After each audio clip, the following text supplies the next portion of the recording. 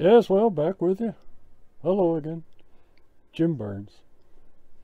What we got going on here today, we're going to investigate the DC amp draw on this locomotive so we can uh, determine if we're getting close to the maximum amp draw of the Blunami board, which is 4 amps. All right and a lot of my research and reading online, a lot of people were concerned about such matters, and it got me curious to see what ours is performing at. So what I did is, uh, let me move the camera here, I uh, took the shell off the tender and uh, I got this DC amp meter here and I've got the power for it tied into the Blunami board and the power inputs from that uh, buck converter board. And then this is a Hall effect sensor with the positive lead to the motor of the locomotive.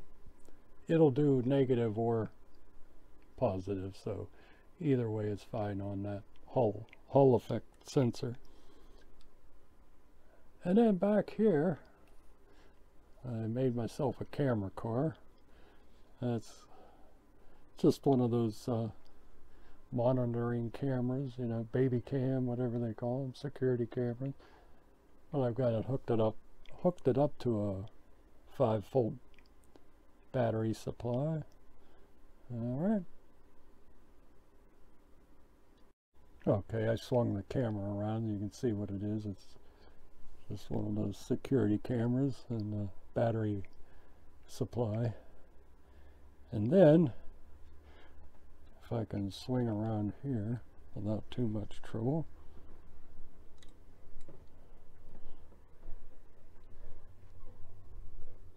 take a look at that uh, display on that amp meter. All right the three green zeros there. Uh, so this reads DC amperage, not the voltage, but the amperage. So what I am going to try and do is record the uh, amp draw via the security camera as the train is running around the layout. Now here we're just running the locomotive and uh, the tender and the camera car. So we'll see how this works out. I'll try to add the footage from the security camera to this footage off my camera here. Alright, so let's give this a shot and see how we do.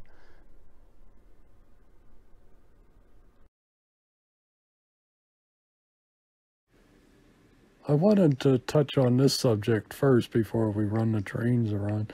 Um, this is the stall amperage on the Hudson. I'm holding the wheel still, and this is the DC amp uh, reading that I got. Uh, I knew this was above the board's limit uh, before I started the project, but uh, I thought I'd show you a picture. I just thought to myself, well, we just won't stall it and we'll be fine. Because I knew the running amps weren't anywhere near the board's limit, so, but I just wanted to show you that this is uh, where I started with my project. So to that end, with the stall amps being that high, uh, after a couple weeks of running this locomotive around, I decided, uh, well, maybe I better put some protection in there. So uh, this is an axial fuse. Uh, it's an instant blow, uh, three and a half amp. Uh, I think it'll take up to 125 volts, but uh, I put this on the motor positive terminal on the Blunami board and then hooked it to the motor's positive wire. And in this next picture, I'm showing how I installed it. Uh, I had a little connector here that was a perfect fit for the lead on the fuse. So it's put in the uh, motor positive and uh, that's the protection. Uh, I have felt it and it, it does get a tiny bit warm. Nothing serious, just a little warmth, that's all. As a, about 10 minutes of running the locomotive around. So it's doing fine. But it'll instantly blow if it gets up to three and a half amps. And uh, I just figured I'd stay away from that four amp uh, maximum on the Blunami board. So we just put three and a half amps and uh, all the running amps I'll show you here in a minute. They don't get anywhere near three and a half amps. So we should be in good shape. Uh, it's been over a month I've been running this locomotive and it, it's done fine. So, so now we'll get back to running the trains around, okay?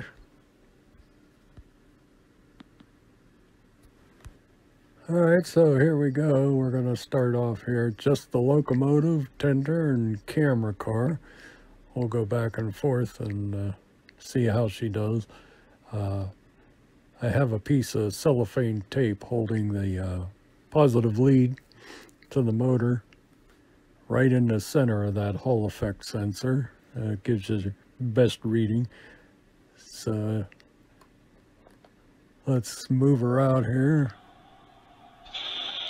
I'm sorry, the sound from that security camera is terrible, but now, the first thing you'll notice is the amps will go up when it hits a curve, uh, but then it drops back down. Uh, we'll start off slow to begin our trip here.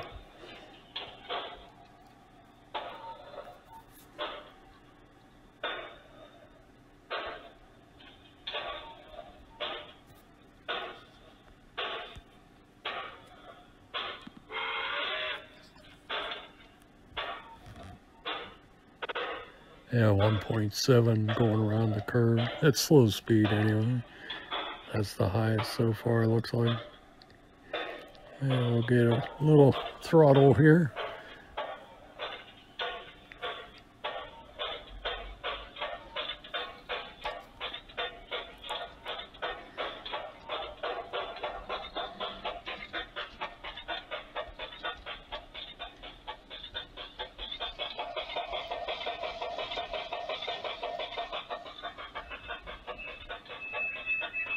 Yeah, we'll come to a stop right about here. And we'll back up.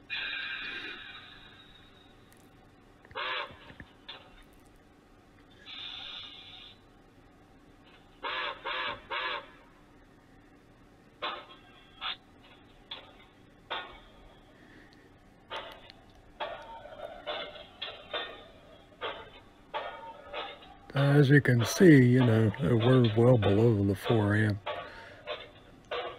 limit on that Blunami board. Uh, 1.2, less than an amp here. Give her some more throttle. It's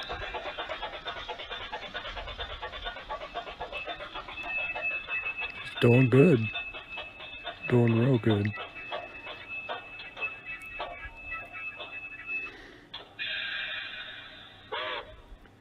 Okay, now I'm going over to uh, hook up the uh, MTH uh, semi-scale passenger cars.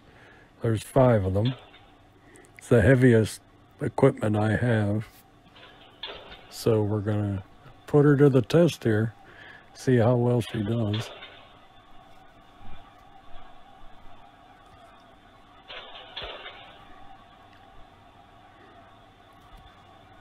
Of course, we know it'll go up.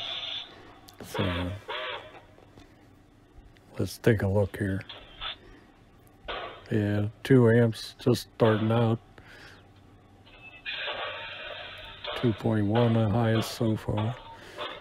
Hitting the curve here in a second, 2.4. Highest reading.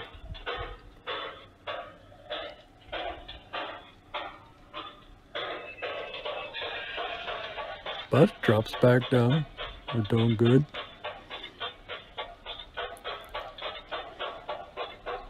Back up on the curve.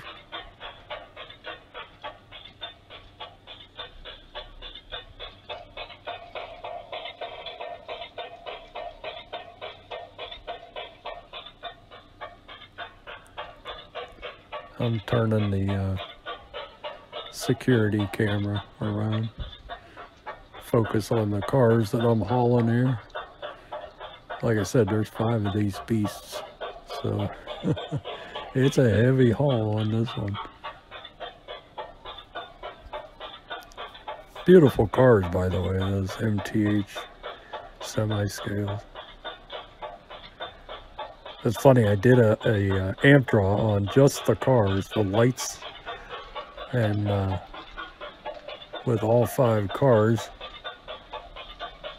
on the track by themselves without the locomotive or tender. All those lights add up to one amp AC voltage, so that's a lot of amp draw. I may be switching that to uh, LEDs in the future. But here we are, just uh, cruising around the layout. 2.2 there.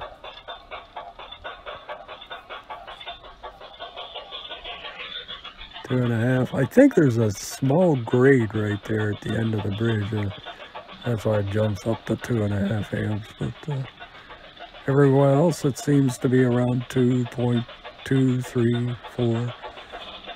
Except that one spot just seems to jump up I can hear the chuff rate, just the the exhaust sound, it increases.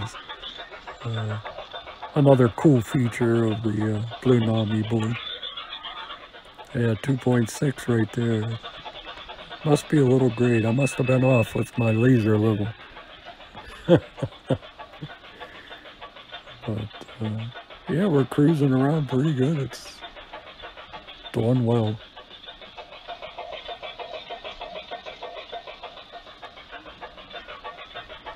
Like I said, I've been running this for over a month now and it's done fine. I haven't had any trouble at all with it. I did increase the voltage if I never mentioned that before to 16 volts. But uh, the 12 volts just wasn't cutting it. So I increased it to 16 and everything's been running great.